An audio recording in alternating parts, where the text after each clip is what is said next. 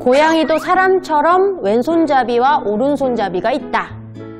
영국의 데보라 웰스 박사 연구팀이 발표한 결과인데요. 왼쪽 앞발을 주로 사용하는 양이들은 변덕스럽고 오른쪽 앞발을 주로 사용하는 양이들은 장난기가 많다고 합니다. 신기하죠? 우리 집 가려면은 과연 어, 왼발잡인지 오른발잡인지 확인해보는 것도 재밌을 것 같습니다. 고양이에 대한 모든 것! 고양이에 대한 알짜배기 정보.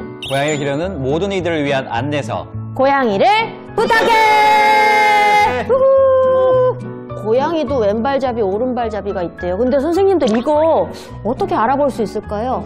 주로 알 수 있는 게 애들 양양펀치 날라올 때 어느 발이 먼저 나오는지 딱 보면 걔가 어느 발잡인지 알 수 있어요. 아, 양펀치 말고 또 뭐 아니 뭐 있을까요? 암컷 고양이들 일반적으로는 일단 오른발잡이가 많고요. 수컷. 고양이들의 경우에는 왼발잡이가 많다고는 하더라고요. 근데 이유에 대해서는 정확히 밝혀지지 않았지만 아마 호르몬 때문이 아닐까 라고 추측하고는 있습니다. 두 분은 근데 혹시 왼손잡이세요? 오른손잡이세요? 저는 오른손잡이요. 근데 수의사 일을 하다 보니까 아무래도 왼손을 쓸 일이 많이 생겨서 어, 그래서 양손잡이. 그래도 뭐 왼손도 쓰는 편. 저는 성격으로만 보면서 왼손잡이여야 돼요. 변덕이 좀 심한 편인데 네. 오른손잡이입니다. 네. 그래서 오른손잡이. 양손잡이시네요. 네. 아니요. 변덕도 심하고 장난도 많고, 네. 가지가지 하시는 우리 두 선생님들과 오늘도 함께 합니다. 오늘은요, 어떤 선생님이 다녀오셨죠? 아, 네. 제가 다녔습니다. 고부에서 가장 문제되는 거, 제 1순위가 아이들 배변 배뇨 실수. 그렇죠. 그렇죠. 그래서 우리 집 고양이가 화장실을 잘 못 가린다면 오늘 이 편을 꼭 주목해서 보시면 좋을 것 같습니다. 정말 매일매일 반복되는 소변 테러에 우리 보호자님의 이불이 마를 날이 없다고 합니다. 소심한 망고의 대범한 테러. 함께 보시죠. 찬바람이 불어오는 늦가을 수원의 한 집을 찾았습니다.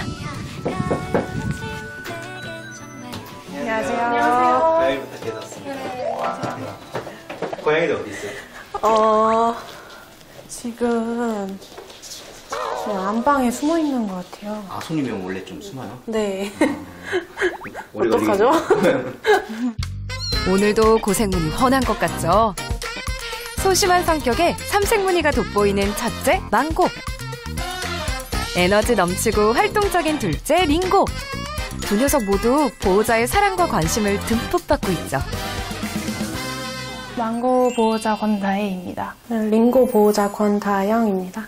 망고는 제가 고양이 조- 좋아하는 거 얘기하다가 친구네 고양이가 진짜 새끼를 낳아서 데려오게 됐고 링고는 그 이후에 망고만 키우다 보니까 망고가 심심해할까봐 데리고 오게 됐어요. 근데, 근데 하루 만에 바로 들켰어요. 뭔가 숨겨진 비밀이라도 있나요?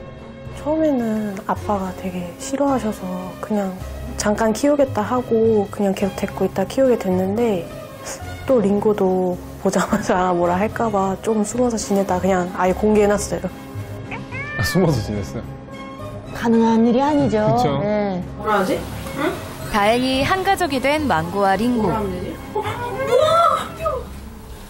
애정이 아주 넘치는데요.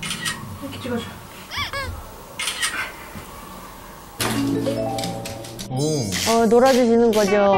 이야. 잠깐 보자 보자. 우리 링고는 왼발잡이 같은데요? 네, 아버님도 이제 좀 좋아해 주셨으면 좋겠는데요. 어, 아버님 꽤 좋아하시더라고요. 어렵게 아버지의 허락을 받은 만큼 책임감을 갖고 망고와 링고를 관리하는 보호자. 하루에 두 번 식기를 세척하고 소독하는 것도 하루 일과죠.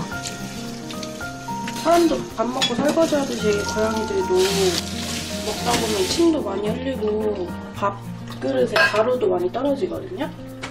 그래서 저희도 항상 이렇게 닦아줘야 돼요. 녀석들을 향한 자매의 무한 애정. 여기서 끝이 아니라는데요? 엄마랑 동생도 도와줘가지고 망고 링고 따로 적금을 들어서 그걸로 사용하고 있어요.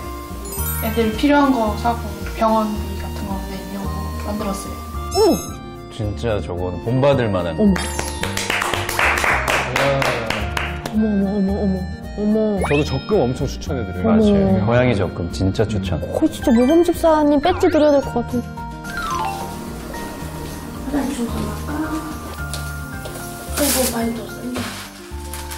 자매만큼 모범 집사 포스 풍기는 어머님 등장. 화장실 청소를 하다가 손으로 모래를 고르는데요. 지금 뭐 하시는 거예요? 네, 삽으로 걸러지지 않는 용변들이 있어서 제가 손으로 일일이 다 고르고 있어요. 이야, 정성이 대단하죠.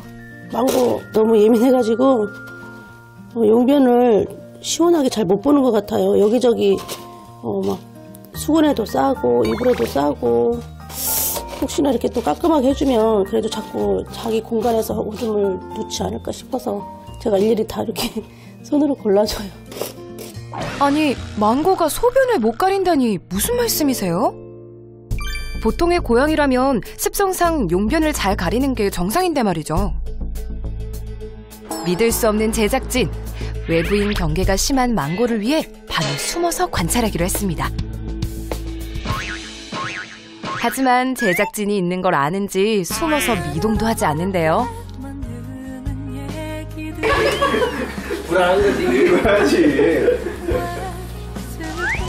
그렇게 3시간 후 망고는 까맣게 타들어가는 제작진의 마음을 알긴 할까요?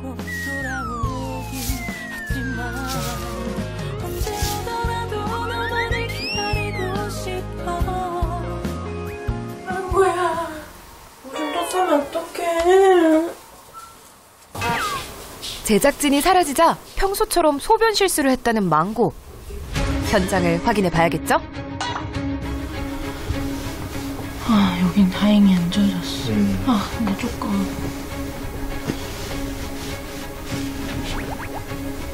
아, 야, 냄새 이만 정도? 정말 망고가 범인일까요? 정확한 검증을 위해 관찰 카메라를 살펴보기로 했습니다.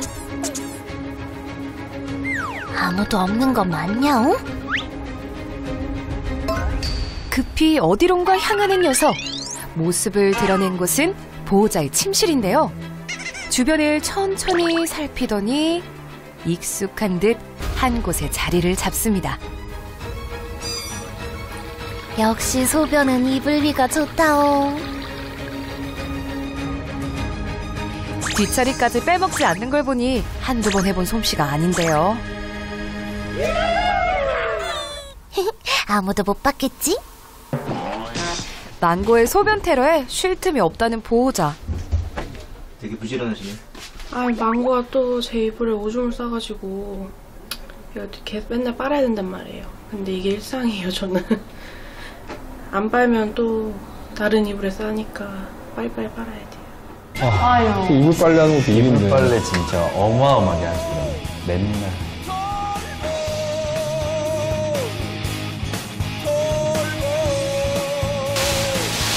소변을 못 가리는 망고를 위해 보호자는 다방면으로 노력 중인데요. 노래를 왜 갈아주시는 거예요?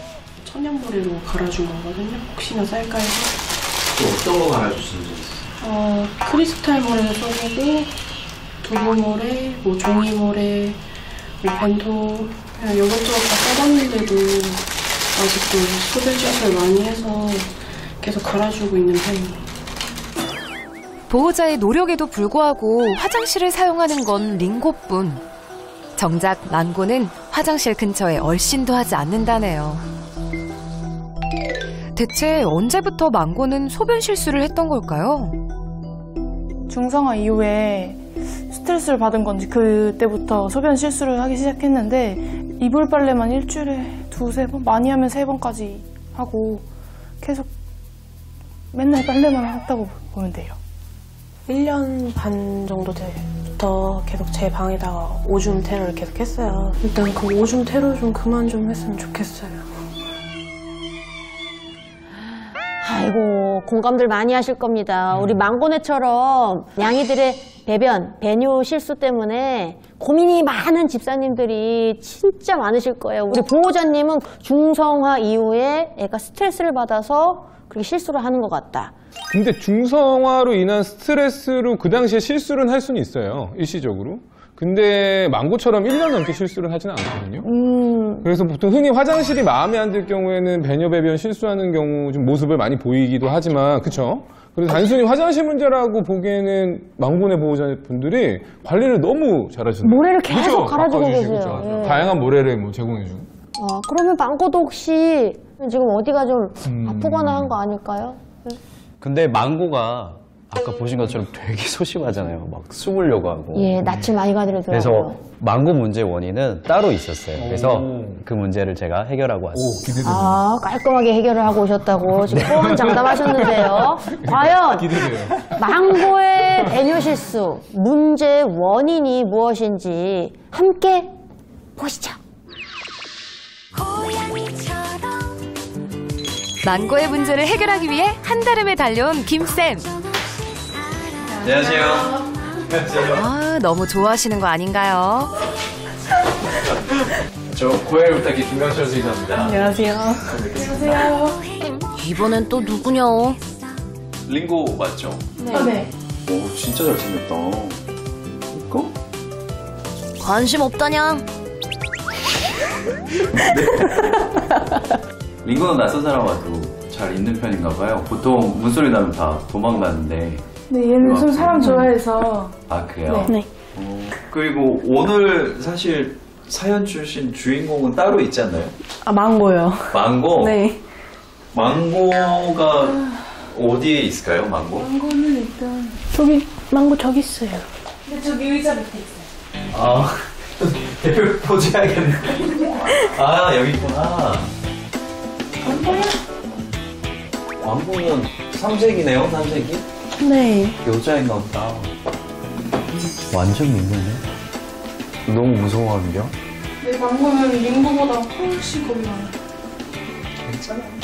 그러면은 실수하는 위치를 좀 보여주실 수 있을까요? 네.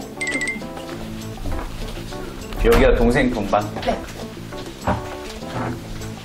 여기 이불에 좀, 이 이불도 그냥 좀 많이 나요.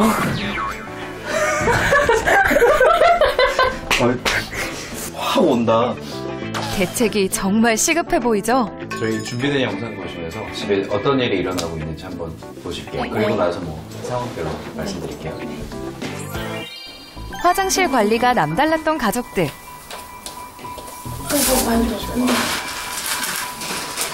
화장실은 뭐 이렇게 애들이 소변이나 대변 보고 나면 바로바로 치워주시는 거예요. 네, 보이면 바로. 웬만하면 바로.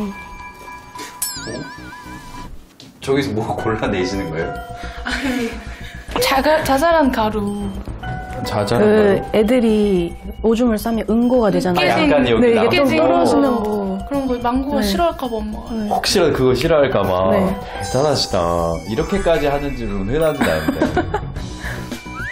하지만 보호자의 노력에도 망고는 다른 곳에 소변 테러를 했었죠.